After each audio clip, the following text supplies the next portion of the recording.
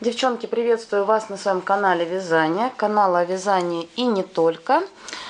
И с вами я сегодня Татьяна. Сегодня я хочу снять еще один тег. Я нашла этот тег у моего блогера любимого, да, Алиночка. И посмотрела я этот тег, и мне он очень понравился. И буду с вами вязать. Вязать я буду Ой, ниточка моя. Вязать я буду сегодня комбинезон, потому что на данный момент это светлый вариант, да, сейчас уже темно, восьмой час вечера. А второй мой процесс, который я вяжу активно, это мужской снуд, он темного цвета. Поэтому буду вязать комбинезончик. Итак, если вам интересно, то приглашаю на просмотр.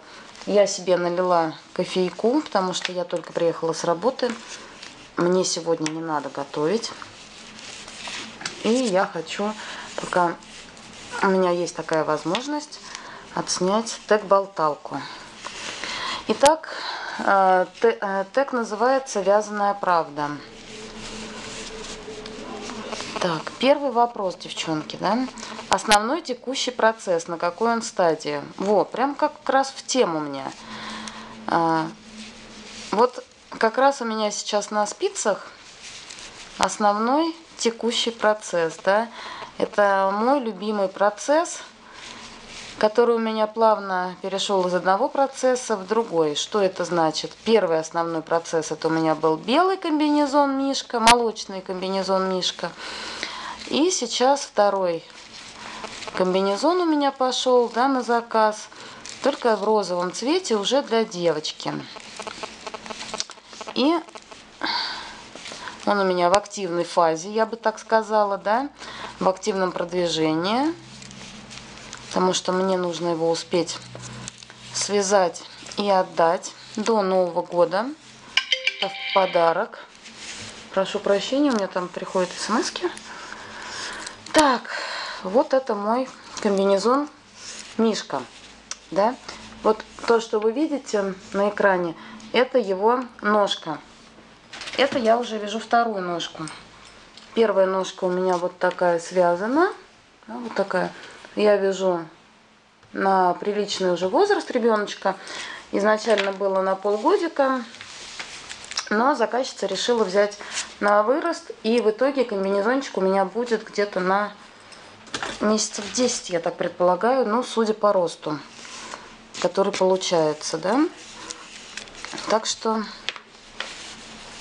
это у меня один основной процесс. Ну, один из основных процессов э, активных. Э, у меня всего два процесса активных, потому что два процесса, и они вяжутся на заказ. Так, второй вопрос, девчонки. Да, забыла сказать, что вопросов в данном теге будет 21. Второй вопрос. Самый долгий по затраченному времени процесс и самый быстрый. Самый долгий. Ну, я так думаю, что это плечевое изделие мужское. Ну, оно само по себе, потому что и размерчик большой. А, может быть, плед у меня еще долго шел, девчонки. Но в любом случае это где-то... Да, плед, наверное, самый долгий. Но я его не очень активно вязала, потому что... Я его вязала, по-моему, розовый плед пару месяцев, мне кажется. Потому что, мне кажется, я даже мужской свитер вязала, ну, в течение месяца я его связала. Это с учетом того, что я работающий человек, да, и вязать могу только после работы и в выходные. Самый быстрый процесс, я помню, я в прошлом году, по-моему, связала мужу шапочку за один день. Потому что обнаружилось то, что нет теплой шапки. И я ему быстренько за один день связала шапочку. Ну, это я дома была, то ли это выходной день был, я уже не помню. Но это был быстр, самый быстрый процесс. Так, следующий вопрос. Самый интересный процесс и самый скучный. Самый интересный процесс это однозначно комбинезон Мишка. Это вообще, это такая прям прелесть и расслабуха для меня, что это в любом случае всегда будет самым интересным процессом. Ну, по крайней мере, на данный момент это самый интересный процесс. А самый скучный процесс, скучный процесс, это, знаете, вязание снуда детского. Вот он у меня не пошел, прям вот не нравится он мне. По-моему, я его даже до сих пор не закончила. Я его когда-то давно показывала. У меня у Киры связалась шапка-кошка розового цвета. И я под эту шапку начинала вязать снуд. Ну вот, мне кажется, я его до сих пор не закончила. Ну, не идет и все. Вот, ну, не знаю, я назвала бы его, наверное, скучным. Не знаю почему. Никак он у меня вообще не движется. Сейчас он у меня вообще убран. Я вообще про него забыла. Вот если бы вопрос этот не увидела, я бы и не вспомнила, что у меня есть такой процесс на спицах. Почему-то. Наверное, я уже убрала его куда-то. Ну ладно, неважно. Четвертый вопросик. Чему научились за прошедший месяц? Что хотите освоить в ближайшее время? Чему научилась за прошедший месяц? Ну, чему я научилась? Я научилась, наверное, вязать вот этот комбинезон. Потому что раньше я не вязала детских комбинезонов.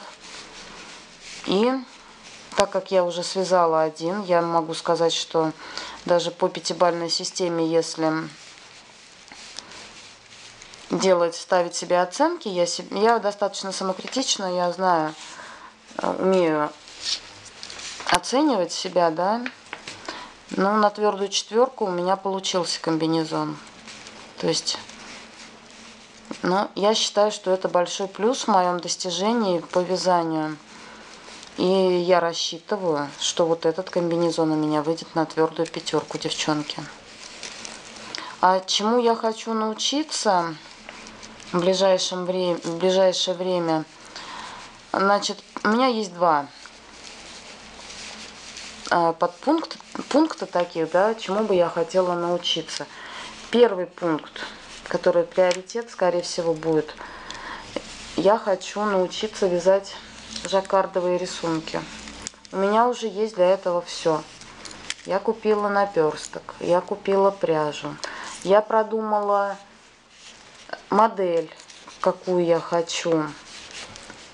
У меня просто нет времени пока, да, начать учиться этому. Но я надеюсь, что в отпуске, который у меня будет примерно через месяц, я обязательно начну, девчонки, осваивать эту технику. Пусть, понемножку, не все сразу. Москва не сразу строилась, да, но я очень хочу освоить, и я обязательно буду осваивать эту технику. И второе, то, чему я бы хотела научиться, это, конечно же, вязание крючком, девчонки. Это моя идея, она у меня уже с прошлого года. Я крючком не умею вязать, умею только набирать воздушные петли, ну и там какие-то базовые. Я даже не умею обвязки делать крючком, и это меня расстраивает. Вот. Это два пункта, которым я хотела бы научиться. Я бы обязательно научилась, но так как нет времени лишнего, к сожалению, у меня пока этот вопрос стоит остро открытый. Пятый вопрос. Плохая привычка в вязании. Лень делать расчеты, лень записывать ряды, что там еще, и тому подобное. Как вы с ними боретесь? Так, плохая привычка в вязании. Раньше мне было, конечно, делать расчеты. Но в прошлом году, когда я вернулась в мир вязания, да, это я так называю себя, и я связала кофту себе без расчетов, я ее почти довязала. И мне пришлось ее распустить, потому что она была размера на 3 как больше, чем я Вот именно с того момента я стала делать расчеты. То есть тот урок был для меня хорошим уроком. После этого я обязательно вяжу образцы, делаю замеры и все высчитываю, девчонки. По-другому никак. А, так, что там, записывайте ряды. Записывайте ряды, если нужно, я записываю, но, ну, если идет вязание, вот как в этом, да, например, комбинезоне. Я одну ножку отвязала, я знаю, сколько по одной ножке я рядов провязала, я записала. Но ну, обычно я пользуюсь счетчиком рядов. Поэтому вот именно каждый ряд мне не нужно записывать. А так, если нужно складывать, то, естественно, я складываю, записываю. Но больше, мне кажется, нет у меня плохих привычек вязания. Ну, как-то я не замечала за собой. Поэтому тут что-то сказать не могу. Такого прям плохие привычки. Нет у меня плохих привычек. Не замечала. Следующий вопрос. Вяжете ли вы на улице, в кафе, в общественном транспорте? На улице в кафе не вяжу. В общественном транспорте я вяжу, когда езжу летом на электричке на дачу. То, вяжу при наличии свободных мест. Да, я вяжу. Мне не очень это иногда сначала бывает ну, комфортно, да, я испытываю некий дискомфорт. Но тем не менее, потому что ехать час 10 мне на электричке и просто жалко, да, это время, если ты сидишь, мне жалко время тратить на просто музыку, не знаю, интернет или просто смотреть в окошко. Вот, а ну еще где я вижу? Вижу, естественно, как пассажир в машине, когда еду с мужем, ну, на дачу. И все. Седьмой вопрос. Больше вяжете по описаниям и фотографиям или стараетесь сами придумать модель? Наверное, 50 на 50. Я плечевые изделия в основном придумываю сама. Вот я вязала себе, мужу, дочке. Я придумывала сама рисунок, какой будет и вяжу. Шапки я могу вязать по описаниям. Ну вот данный комбинезон, например, естественно, я вяжу по описанию, по мастер-классу. Поэтому у меня 50 на 50. То есть я вяжу и так, и так. Бывает по-разному. А, следующий вопрос. Всегда вяжете с удовольствием или же бывает, что заставляете себя вязать? И причина. Нет, я в основном стараюсь вязать с удовольствием. А, то есть с хорошим настроением.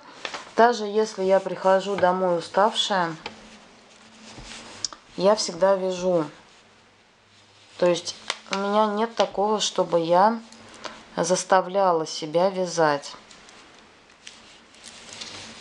Иногда бывает, да, иногда бывает такое, что нет сил просто, и ты настолько вымотан, ну, это из-за работы, да, морально, я работаю, у меня, естественно, не физическая работа, а я очень много как это сказать, морально могу истощиться, да, потому что у меня идет нагрузка на вот такие вот считать, с людьми договариваться, вот такого плана. А когда ты общаешься много с людьми, и с людьми совсем непростыми, порой особенно бывают непростые, ну, мы все же люди разные, да, и каждому человеку нужен особый подход. А особенно там, где я работаю в сфере э, благоустройства, да, где благоустройство стоит недешево, то, естественно, люди все разные, потребности у всех разные, и все бывают капризными. И иногда даже коллеги на работе, да, с кем с, взаимосвязаны мои, рабочие процессы иногда могут вымыть так настолько сильно.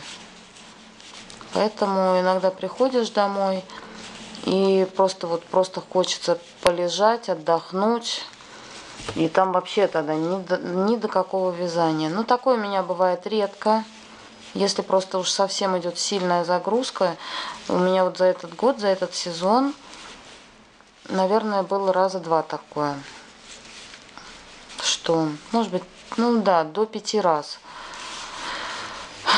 Поэтому, только поэтому. В плохом настроении я не вяжу. Я не, то есть, если я вяжу, то у меня хорошее настроение, с хорошими чувствами я вяжу. А если я не вяжу, это не значит, что у меня плохое настроение, это просто значит, что у меня нет сил. Потому что вязание для меня как расслаблялочка. После тяжелого трудового дня я прихожу, сажусь вязать и понимаю, как же это прекрасно. Полчаса буквально хватает, чтобы восстановиться и прийти в норму, девчонки. Особенно, когда ты наливаешь себе кофеечек, все такое прекрасное вокруг. Особенно если это пятница, и ты уже едешь на дачу, ты понимаешь, что у тебя два выходных, где можно отдыхать, вязать и так далее. Поэтому вот так. Поэтому вот так, девчонки. Так, следующий вопрос, это девятый. Часто ли ваши близкие слышат фразу подобного плана? Еще три рядочка и будем ужинать. Ну, то, что касается, вот если прям вот один в один, да, то ни разу. Три рядочка и будем ужинать никогда в жизни. Не слышали от меня фразу. У меня муж периодически слышит от меня фразу, ну сейчас еще три рядочка, там еще один рядочек и будем спать уже. Вот такая, да, у меня бывает фраза, что вот он уже все, Таня, ну пойдем спать уже, выключай все, свет там и так далее. А я, ну сейчас еще один рядок, еще один рядок, еще три минутки, и все, и будем спать. То, то есть вот только та, в таком формате у меня бывает. Так, десятый вопрос. Что будете делать с неудавшейся вещью? Выбросите, подарите, распустите или и так далее. Неудавшейся вещью я буду делать. Что я буду делать? Либо выброшу. У меня недавно было такое чувство, но я пока на реанимации этой вещи. Я надеюсь, что у меня это получится. То есть, либо я распущу, либо выброшу. Если распустить можно, распущу. Если распустить нельзя, то, ну, в плане того распустить, что нитка такая будет, да, вот как ангорка, которую не распустишь. То есть либо одно, либо второе. Либо распустить, либо выбросить. Третьего не дано. Так, следующий вопросик. Как относитесь к вязаным изделиям в интерьере? Три вещи, которые хотели бы иметь у себя в доме. Как я отношусь в интерьере? Не знаю. Никак не отношусь. У меня нет ни одной вещи вязаной в интерьере. Ну, кроме вот игрушки. И парочку. Ну, пару игрушек. Но это аксессуары, я бы сказала, так, для развлекушечки. В интерьере, может быть, я бы допустила бы из вязаных вещей. Я подумывала об этом когда-то. Связать большой плед. Например, у меня лежит травка. Да, такой плед пушистый и мохнатый. Я допускаю, что такое может быть. Или, например, вязаных подушечек каких-то навязать. Вот буквально сегодня я как раз смотрела вариантики. Но пока, честно скажу, не до них. Может быть, когда-нибудь, опять же, если вдруг мне нечего будет вязать, то я, наверное, над этим поработаю плотно. Но пока нет. У меня ничего нет такого в интерьере вязаного. Предлагаю к следующему вопросу перейти. Хотели бы поделиться своим опытом и знаниями, научить кого-нибудь вязать? Сестру, дочь, подругу, мужа. Мужа нет, сестра нет, подруга вяжет, дочка вяжет. Моя дочка, хоть она и маленькая, ей 12 лет – но она вяжет игрушки у меня крючком. Это при том, что я не вяжу крючком, девчонки, я не умею. Моя дочь, она меня пыталась научить крючком вязать, но я либо настолько не могу с ним подружиться, я вообще не понимаю, я не знаю, было такое у кого-то чувство или нет. Я вообще не понимаю, как вязать крючком. Вот если на спицах мы вяжем, я вижу петли, я понимаю, да, все это прекрасно. Мы с вами вяжем и понимаем, что, как мы вяжем. Когда петлю снять, когда ее провязать, когда ее убавить, я не знаю, когда ее прибавить. При вязании крючком меня и подруга учила, меня и дочка моя учила, меня и книжки учили. В общем, я что-то не поддаюсь, девчонки, обучению вязания крючком. Поэтому дочка моя научилась сама вязать крючком. Иногда я, ее, я ей подсказываю, как вязать спицами. Вот она у меня спрашивает. Но опять же, у нас сейчас интернет настолько развитый, да, то есть она сама берет, и если ей что-то нужно, и учится. Поэтому, наверное, хотела бы с дочкой, конечно, поделиться, но чем-то, что я знаю. Следующий вопрос. Три основные причины, по которым вы ведете свой канал на YouTube. Первая причина. Мне так хочется. И это, и это самое, наверное, важное. Мне хочется его вести, я получаю от этого удовольствие, я получаю от общения при, э, приятное ощущение. То есть мне это интересно. То есть я отношусь это, к этому как к хобби. Это первая причина. Вторая причина. Какая вторая причина? Я даже не знаю три основные причины, по которым вы ведете свой канал. Наверное, у меня не будет трех причин. У меня вот одна, и это самая важная причина, потому что мне так хочется. Я получаю от этого удовольствие. Больше мне добавить, наверное, нечего, девчонки. Я не знаю, может быть, я неординарно в своем вопросе буду, да, как-то, может быть, по-странному будет звучать, но у меня есть потребность, да, я бы сказала в этом. Вот э, я никогда не буду себя заставлять делать что-то через силу. Если я делаю, если я веду канал, то значит я это делаю с удовольствием, с душой, и к этому же так отно... к этому также и отношусь. То есть, если я вернулась в вязание, если раньше, когда я еще была молодая, я не относилась к вязанию там как-то. Ну, вяза, вяжу и вяжу. А сейчас, когда вот это уже год я вяжу, да, постоянно, то есть это уже осознанно, я уже понимаю, что и дальше я буду вязать. Поэтому я буду вести и канал продолжать, то есть и саморазвитием каким-то заниматься. И, естественно, благодаря Ютубу сами мы развиваемся и узнаем что-то новое. Потому что там есть блогеры, у которых можно многому научиться. В общем-то, мой ответ, наверное, такой, что у меня есть в этом потребность, мне это нравится, и я вяжу. Больше мне сказать, наверное, нечего, девчонки. Не знаю почему. Четырнадцатый вопрос. Есть ли у вас график или план съемок видео? Придерживаетесь ли вы его? А, нет у меня плана, нет у меня графика, поэтому мне придерживаться в принципе нечего. Вот я сегодня сидела, у меня была свободная минутка на работе, да, я нашла тег и решила, что я тоже хотела бы на него поотвечать. То есть приехала домой, вот как раз у меня сегодня муж работает до 9, есть время, я снимаю. То есть у меня есть подготовка к, э, к болталкам, да, то есть это я готовлюсь к своей рубрике.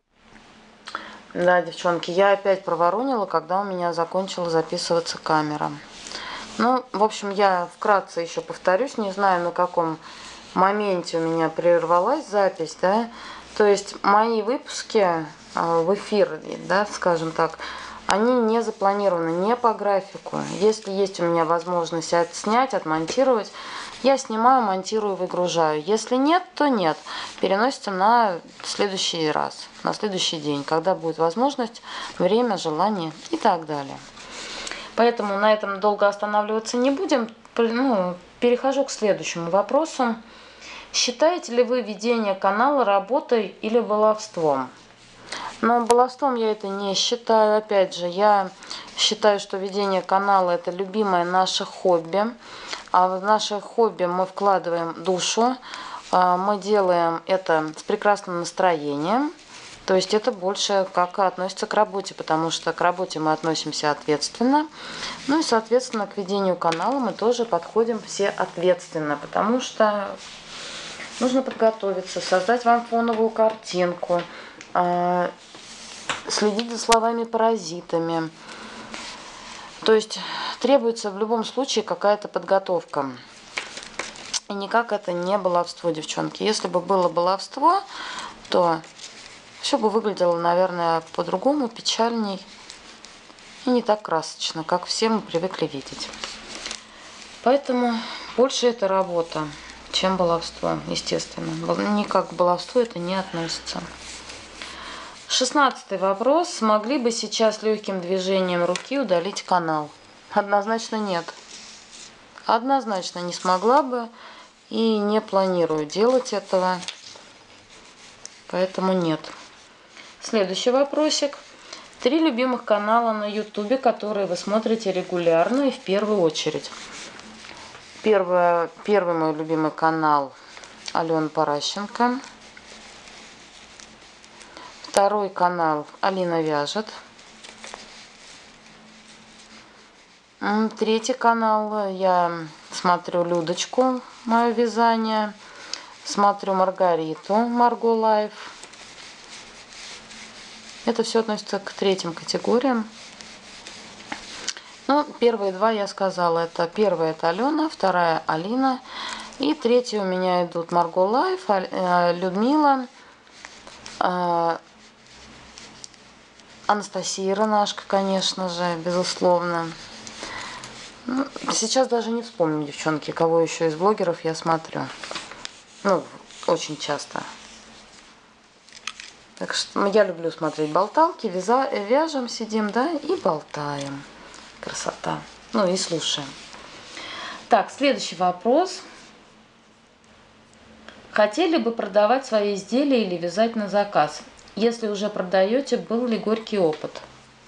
Горького опыта у меня не было. Ну, продавать и вязать на заказ я немножечко вяжу на заказ, немножечко, естественно, и продаю. И горького опыта у меня не было.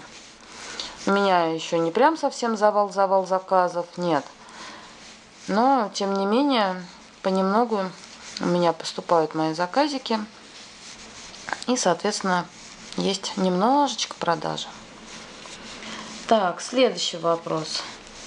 Есть ли у вас постоянные клиенты? Да, есть.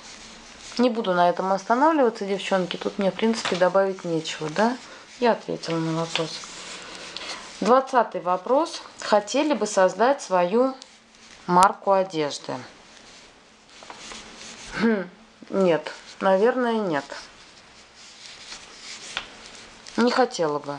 Никогда не хотела и не хочу свою марку одежды. Это так настолько ответственно, это столько нужно продумать. А так не хочется заморачиваться. Не хотела.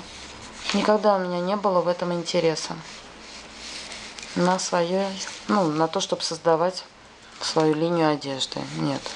Это не мое. То есть э, все должно быть, я не знаю даже, как правильно сформулировать, вовремя, в меру, по зубам. То есть это не для меня. И 21 вопрос. Совет начинающим блогерам или тем, кто хочет, но никак не решится на свой канал. Мне кажется, я уже в каком-то теге встречала такой вопрос. Да, и в принципе, ответ мой не будет, я думаю, отличаться от того ответа, ну, я уже давала. Я не вспомню, в каком теге это было, но, естественно, мне не трудно, я скажу, повторюсь. А, что я могу пожелать начинающим блогерам? И тем, кто еще раздумывает. Девчонки, не думайте долго. Чем дольше вы думаете, тем больше вы отдаляете себя от того чувства, которое вас может захлестнуть с ведением канала. Естественно, я говорю о приятном чувстве,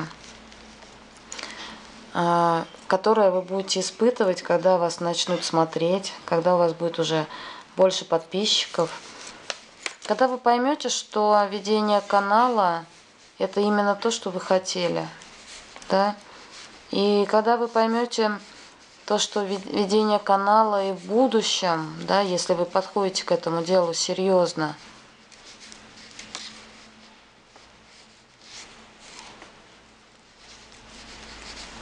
это именно ваше, именно то, что вам нужно будет ну, в дальнейшем. Поэтому не бойтесь ничего. То есть совсем ничего не бойтесь. Если у вас, э, вас посетила такая мысль о том, что вы хотите создать канал, то обязательно, девчонки, создавайте его.